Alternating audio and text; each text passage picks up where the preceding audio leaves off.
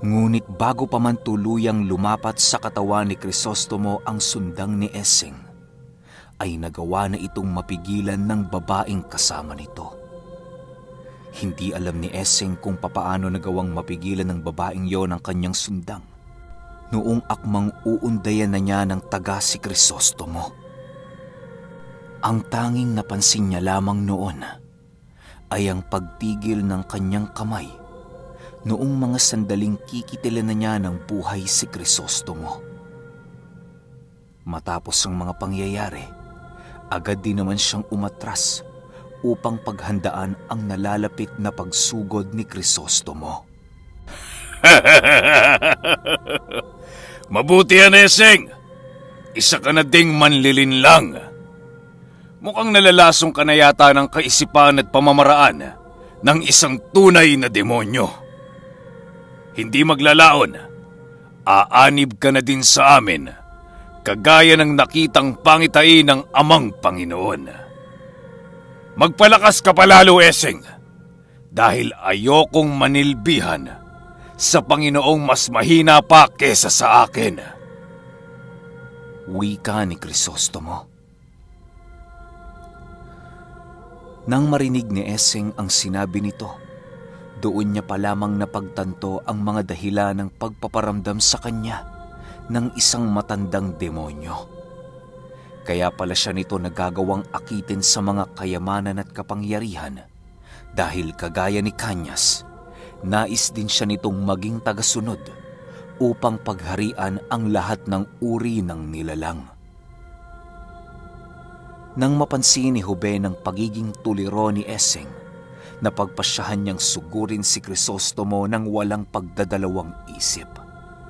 Paglapit niya sa mga ito, mabilis na naman itong nagsilayuan habang patuloy na humahalakhak. Pag-isipan mo sinabi ko, Eseng! Dahil ang panahon ng iyong paghari ay nalalapit na. Sa hinaharap, kapag hindi tayo makakapaghanda, hindi natin magagawang talunin ang isang anghel na ipapadala ng Diyos sa lupa. Sigaw ni Crisostomo habang patuloy silang tumatakbo ng babaeng kanyang kasama. Nang tuluyan na itong makalayo sa kanyang kinaroroonan, ninais na lamang ni Essing na tumulong sa kanyang maestro at kapatid upang talunin ang demonyong nasa loob ng katawang lupa ni Bipel. Pagsipat niya sa kinaroroonan ni Ermetanyong Tasyo, Laking gulat na lamang niya nang makita niya itong duguan habang patuloy na nakikipaglaban sa demonyong nasa loob ng katawan ni Pipel. Sila Manong Timo naman ay halos gamitin na ang sukdulan ng kanilang lakas para lamang matalo ang kanilang kalaban. Ilang minuto pa ang lumipas. Mabilisan din namang sumugod sila Huben kay Bipel nang walang pagdadalawang isip. Mabilisan nilang sinangga ang bawat paghampas nito ng latigo na siyang nagdudulot ng hirap sa kanyang mga kapatid. Habang patuloy itong nilalabanan ni Essing, panay naman ang pagsugod ni Ermetanyong Tasyo upang kahit papaano'y magawa niyang matulungan si Essing. Dahil sa labis na pagkabahala ng kanilang pangkat upang gapiin ang demonyo, hindi nila napansin ang pinaggagagawa nila Krisostomo.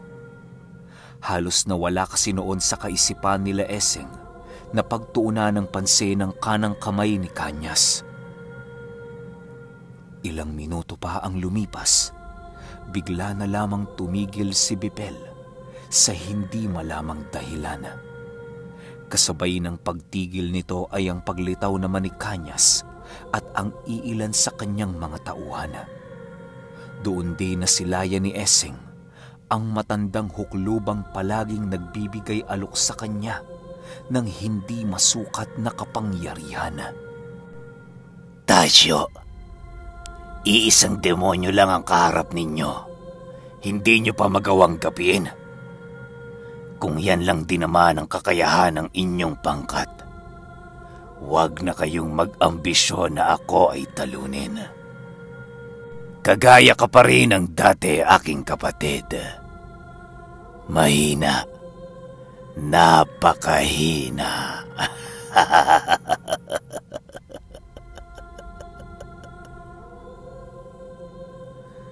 Wika ni Kanyas. Nang marinig ito ni Ermetanyong Tasyo, agad namang napabaling ang kanyang paningin sa kinaroroonan ni Kanyas.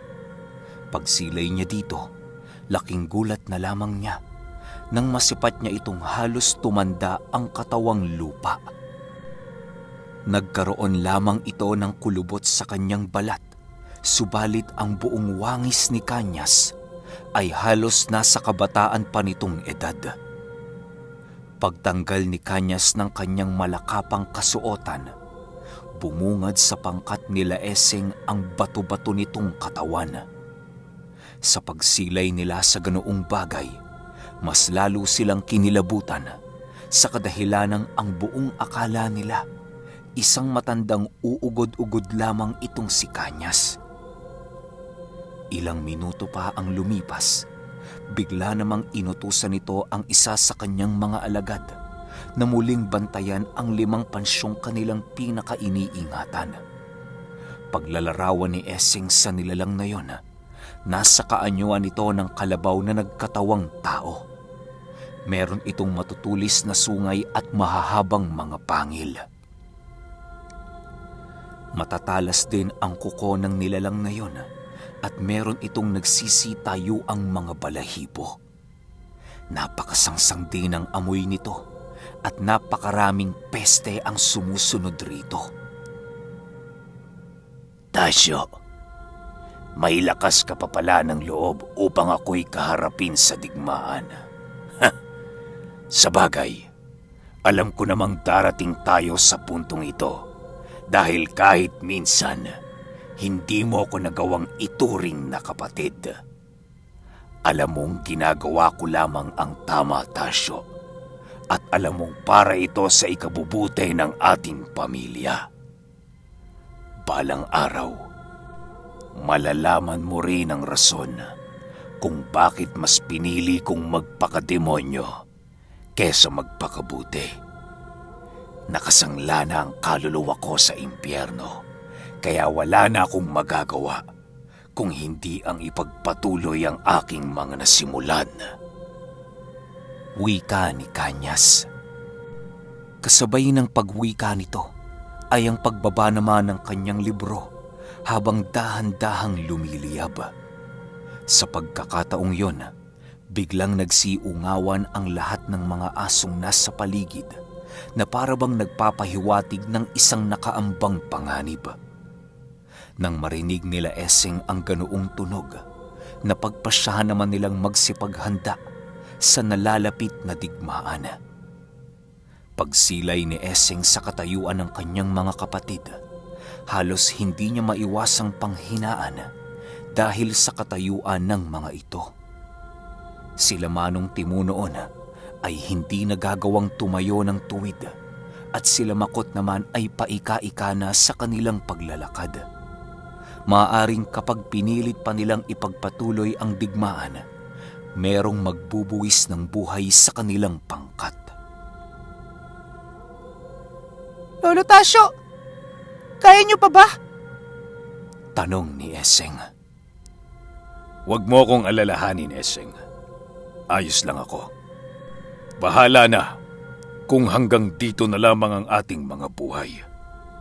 Ipaglaban natin to ng may dignidad at naaayon sa kagustuhan ng ama.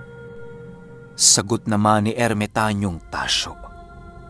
Kasabay ng pagwika nito ay ang pagsigawan naman nila Manong Timo upang mas lalong palakasin ang kanilang mga loob.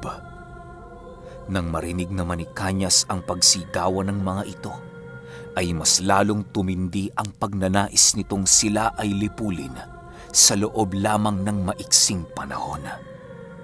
Sa pagkumpas nito ng kanyang kaliwang kamay, bigla namang umangil ang isang lalaki at babae na siya rin namang kanyang disipulo. Sa pag-angil ng mga ito, dahan-dahang nag-iba ang kanilang kaanyuan hanggang sa tuluyan na silang maging mga aswang. Pagsilay ni Ermetanyong Tasyo sa mga nilalang na yon, Biglang nagsilakihan ang kanyang mga mata ng kanyang mapagtanto na dalawang gabunan ang disipulong inutusan ni Kanyas. Paglalarawan ni Essing sa mga nilalang na yon, halos kawangis lamang ito ng ordinaryong aswang, subalit meron itong mga kadenang nakabaon sa kanilang mga katawan na naglalahad ng kanilang pagkaalipin sa ilalim ng kapangyarihan ni Kanyas.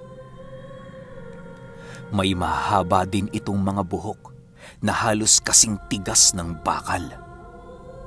Sa pagsugod ng dalawang nilalang sa kinaroroonan nila Essing, ay siya namang kanilang paghanda para sa nalalapit na digmaan. Ninais nila noong magkumpulan upang kahit papaano'y magawa nilang matulungan ang sino man sa kanila na maaaring manganib ang buhay. Nang tuluyan ng makalapit ang dalawang aswang sa kanilang kinaroroonan, kitang-kita ni Essing ang walang patid na pagtulo ng mga laway nito. Nanlilisik din ang mga mata ng nilalang na yon at patuloy itong nagpapakawala ng napakasangsang na hangin. Ilang minuto pa ang lumipas, biglang umalulong ang mga ito at kasabay nun ay ang kanilang pagsugod sa pangkat ng mga antingero. Buong lakas naman nila noong ipinagtanggol ang kanilang kasarinlan laban sa mga nilalang na nasa panig ng kaliwa. Kahit alam na nila Manong Timo na hindi na nila magagawang gamitin ang kanilang mga mutya, pinilit pa rin nila itong abusuhin alang-alang sa kanilang mga mahal sa buhay. Si Makot noon na pagpasyahang magbao ng sumpa sa lupa sa pagbabakasakaling mahulog sa kanyang ginawang patibong ang dalawang gabunang aswang. Sa tingin nyo, mahuhulog kami sa mga simpleng patibong ng inyong mga mutya. Masyado pang bata ang inyong mga kaalaman pagdating sa lihim na karunungan. Ang ginawa niyong pagkalaban sa aming Panginoon ay para nyo lamang hinarap si kamatayan ng buong kamangmangan wika ng isang gabunan. Nang marinig ni Manong Timo ang sinabi nito, agad din naman niyang hinawakan ang pangil ng kalabaw sa kanyang kamay na kinaroroonan ng kanyang sundang. Walang sabi-sabi, mabilisan niya itong sinugod na siya namang sinabayan ni Julio. Nang masipat ni Eseng ang ginawa ng mga ito, napilitan na din siyang sugurin ang mga gabunan upang mabigyan ng tulong sila Manong Timo sa mga hindi inaasahang pangyayari. Nagpakawala na dinoon ng mga palipad hangin si Ermitanyong Tasyo sa paligid upang magawang limitahan ang lugar na maaaring magalawa ng mga aswang. Habang patuloy na pinaghahataw nila Eseng ang isang gabunang aswang, panay naman ang pagtugis nila makot sa kasama nito napagpasyahan nilang ihiwalay ang kanilang kalaban sa kasama nito nang sa gayoy hindi sila mahirapang talunin ang mga nilalang na yon. Sa paghataw ni Ermetanyong Tasyo ng kanyang punyal, mabilisan naman itong inilaga ng gabunang aswang. Nang masipat ni Makot ang pag-ilag nito, sinikap niyang lubos-lubusin na ang pagkakataong yon upang magawa niyang mahuli ang gabunan. Ginamit na niya ang kanyang buong lakas, subalit hindi ito naging sapat upang umayon sa kanila ang pagkakataon. Matapos gamitin ni Makot ang kanyang mutya ng lupa, bigla namang humandusay ang kanyang katawan sa kanyang kinatatayuan dahil sa naabot na nito ang sukdulan ng kanyang kakayahan. Ermitayong Tasyo, pasensya na ho kayo. Di ko na kayang lumaban. Nang hihinang wika ni Makot. Nang marinig ni Ermitanyong Tasyo ang sinabi nito, mabilisan din naman niyang hinila si Makot patungo sa kinaroroonan nila Eseng. Ginawa niya ito nang sa gayoy masiguro niyang ligtas sa kapahamakan ang katawan ng kapatid ni Eseng. Matapos niya itong gawin, Agad din naman siyang bumalik sa kinaroroonan ng gabunan upang ipagpatuloy ang kanilang naudlot na labanan. Ang tanging kasakasama na lamang niya noon ay si Barok na siyang nagtataglay ng mutya ng sapa. Dahil sa kakayahan ng mutyang yon, kung kaya't inaasahan ni Ermetanyong Tasyo na magiging malaki ang tulong nito sa labanan. Habang dahan-dahan nilang nilalapitan ng gabunan, panay naman ang pagpopoder ni Ermitanyong Tasyo bilang paghahanda sa kanyang mga gagamiting orasyon. Sa kabilang dako naman, patuloy pa ring nakikipaglaban sila Manong Timo sa gabunang kanilang kinakaharap. Si Esing noon ang nagsisilbi nilang kalasag dahil sa ito lamang sa kanila ang nagtataglay ng napakalakas na kabal. Lahat ng natatamo nitong pinsala sa kanilang gabunan ay halos hindi nito iniinda dahil sa bisa ng mutya ng Nara. Dahil sa wala ng kakayahan si Esing na tawagin si Huben, kung kaya't tanging ang kanilang mga sarili na lamang ang kanilang maaasahan. Sa pagsipat ni Eseng sa kanyang mga kapatid, kitang-kita niya ang panghihina ng mga ito. Si Julio ay halos maghabol hininga na dahil sa patuloy na paggamit ng kanyang tangan-tangang mutya. Si Manong Timo naman ay halos piliti na lamang ang kanyang sarili na tumayo upang tulungan sila Eseng. Nang masipat ni Kanyas ang panghihina ng kanilang pangkat, Dahan-dahan naman itong lumapit sa kanila na nagsasabing, Hay, ang lahat ng bagay sa mundo ay merong hanggan. Mabuti ka man o masama, hindi mo matatakasan ang ganitong uri ng sumpa. Hindi rin kayo magagawang matulungan ng inyong Panginoon dahil sa pinangako nitong mga kataga sa bawat nilalang na kanyang nilikha. Marahil ay iniisip nyo kung bakit hindi na lang alisin ng inyong Diyos ang masasamang nilalang sa mundong ito.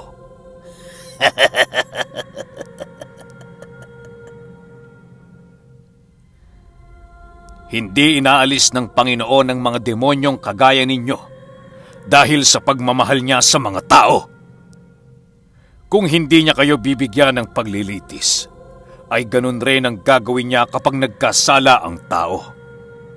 Alam niyang si Satanas ay mapanlin lang kung kaya't kinakailangan niyang mag-ingat sa lahat ng kanyang gagawin.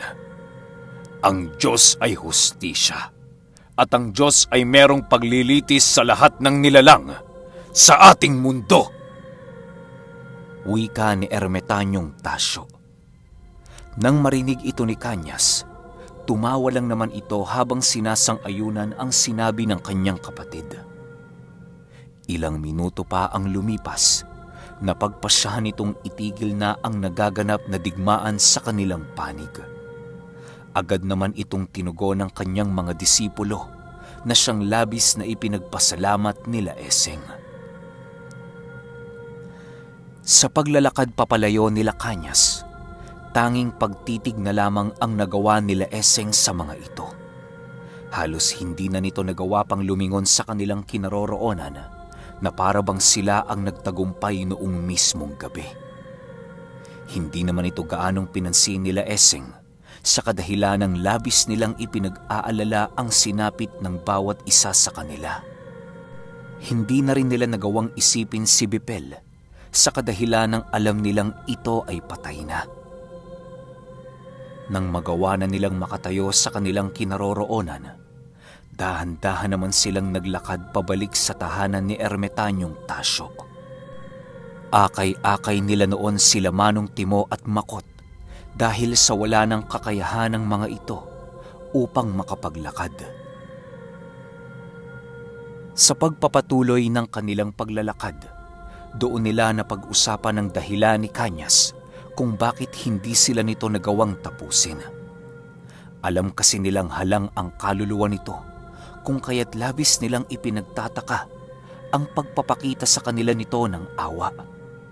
Marahil ay pinaglalaroan lamang sila noon ni Kanyas at hindi sila nito nakikitaan ng banta sa kanyang buhay. Nang marating na nila ang kanilang pamamahay, ninais naman nila Ermetanyong Tasyo na gamuti ng sugat ng mga nagkaroon ng malubhang tama sa kanilang pangkat. Halos inabutan na sila noon ng umaga para lamang magamot ang lahat ng mga natamong sugat nila Manong Timo. Kinaumagahan, maaga pang natulog si Ermitanyong Tasyo at si Eseng upang pagpahingahin ang kanilang mga sarili. Si Julio naman noon ang nagbantay sa kanilang tahanan at gumawa ng mga gawaing bahay. Ilang linggo pa ang lumipas. Tuluyan nang nakabawi ang kanilang pangkat sa mga sugat na kanilang natamo. Lahat sila noon ay nagagawa ng makapaglakad ng maayos na parabang walang nangyari. Isang araw, merong nakasalubong sila Eseng na nanghihingi ng tulong sa karamdaman ng kanyang asawa. Ayon sa lalaki, Magmula noong umuwi galing Maynila ang kanyang asawa, palagi na itong tuliro at hindi na makausap ng maayos. Hindi na rin ito naliligo at palagi itong tulog sa pagsikat ng araw. Ang tanging ikinagulat pa noon nila Eseng nang marinig nila sa lalaki ang tungkol sa pagkain nito ng hilaw na karne. Dahil sa salaysay ng lalaking yon, kung kaya't napilitan silang ito ay tulungan. Manong, nasaan ho ngayon ang inyong asawa? Makakatulong ho kami dahil kami ay pangkat ng mga albularyo. Wika ni Essing. Sana ho makatulong kayo. Pakiusap tulungan niyo po yung asawa ko. Sagot naman ito habang patuloy na naglalakad patungo sa kanilang tahanan. Sumunod lang naman noon sila Esing habang patuloy na pinakikinggan ng salaysay na binibitawan ng lalaki. Nang marating na nila ang tahanan nito, bumungad sa kanila ang napakapanghing amoy sa bukha na pa lamang ng kanilang pamamahay. Pagpasok nila sa bahay na yon, mas lalong tumindi ang baho sa buong paligid parang pinaghalong bulok na karne at malansang dugong na tuyo sa papag. Nang marating nila ang silid ng asawa nito, bumungad sa kanila ang natutulog na babae na patuloy na dinadapuan ng mga langaw. Napakahimbing ng tulog nito na parabang ilang gabi na itong hindi natutulog. Habang dahan-dahan silang lumalapit sa babae, bigla naman itong nagising nang magawa nitong maramdaman ang presensya nila Esing.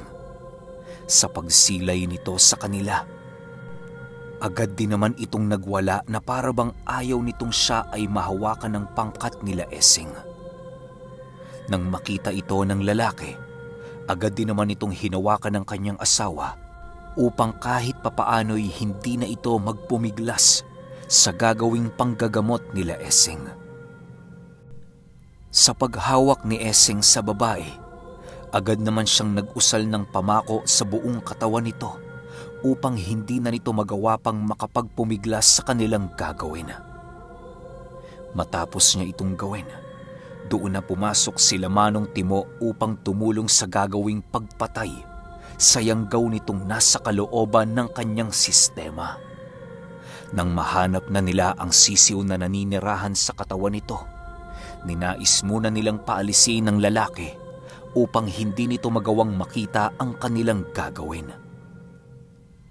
Manong, doon na muna kayo sa labas para hindi nyo magawang makita ang aming gagawin. Wika ni Essing. Sige ho, wala ho yung problema. Basta kung may nais kayo, tawagin nyo lang ho ako ah. Sagot naman ng lalaki. Matapos nitong makapagsalita, agad din naman itong umalis sa silid na kinaroroonan ng kanyang asawa. Nang mapagtanto nila Eseng na wala na ang lalaking yon, Doon na nila inumpisahan ang kanilang pagdurog sa sisiw ng kanyang asawa. Alam nilang masyado na itong malaki, subalit meron pa rin namang tsansa ang biktima upang matakasan ang sumpang yanggaw ng mga aswang. Ang unang ginawa nila noon ay ang baunan nito ng mga dasal habang patuloy na hinihilot ang tiyan nito. Pinaikutan din nila Manong Timo ng mga abo ang hikaan nito upang magawa nilang kulungin ang sisiw na magtatangkang lumayas sa katawan ng babae. Matapos nila itong gawin, mabilisan din naman nilang pinainom ng langis ang babaeng yon. Dahil sa pamako at tigalpong ibinigay dito ni Essing, kung kaya't hindi nito nagawang tumanggi sa kanyang nais. Habang patuloy niya itong pinapainom ng langis, panay naman ang paghilot ni Manong Timo sa tiyan nito. Paulit-ulit niya itong ginagawa upang masiguro niyang madudurog ang sisiw na nakatira sa sistema nito. Ayon kasi kay Essing, na merong mga yanggaw na nanananahan sa bahay bata ng mga babaeng nabiktima ng mga aswang. Nakadepende ang pinamamahaya ng mga yanggaw sa kanilang lahing pinagmulan. Sa pagpapatuloy ng paghilot ni Manong Timo, panay naman ang pag-ungol ng babae na parabang labis-labis na sakit ang naidudulot nito sa kanya. Hindi naman ito gaanong pinapansin nila Essing Gawa ng normal lamang yon para sa mga taong naging biktima ng yanggaw. Ilang minuto pa ang lumipas. Nagawa namang madurog ni Manong Timo ang yanggaw na nakatira sa buong katawan nito. Nang makumpirma ito ni Eseng, napagpasyahan niyang bawiin na ang kanyang mga tigalpo at pamakong ibinaon. Kasabay ng pagbawi niya rito, ay ang mabilisan naman niyang pagtawag sa asawa nito upang utusang kumuha ng mainit na tubig. Inihalo niya yon sa kalahating tasa ng langis upang ipainom sa babae. Babalik ho kami dito pagkaraan ng tatlong araw. Siguraduhin po ninyong walang bibisitang hindi nyo kakilala sa inyong asawa. Wika ni Eseng. Maraming salamat ho, Ginoong Eseng sa mga naitulong niyo sa amin. Huwag ho kayo magalala. Wala pong bibisita sa aking asawa. Alinsunod sa nais ninyo. Sagot naman ng lalaki. Matapos ang kanilang pag-uusap, agad din namang umalis sila Eseng upang bumalik sa tahanan ni Ermetanyong Tasyo. Pagkalipas ng tatlong araw, napagpasyahan nilang balikan ang babae. Subalit sa pagdating nila sa tahanan nito, laking gulat na lamang nila nang masipat nila ang lalaking humingi sa kanila ng tulong na tulala na habang nakaupo. Panay lamang ang pagtitig nito sa malayo na parabang hindi sila nito nagagawang pansinin. Ilang minuto pa ang lumipas. Bigla itong tumayo habang nagwiwi ka ng Pasok ho kayo. Okay, um, hanggang dito pa lang yung essing natin so baka maghintay pa tayo ng ilang araw bago natin ilapag yung 20 o 21. Pero syempre habang wala muna yon yung essing, maglapag naman tayo ng stories. Yun nga yung sinasabi kong compilation. Gagawin nating um, tatlo o apat na storya ng random subs sa isang kwento para siksik naman yung hihintayin ninyo. Yun lang. Hanggang sa susunod na kwento. Salamat.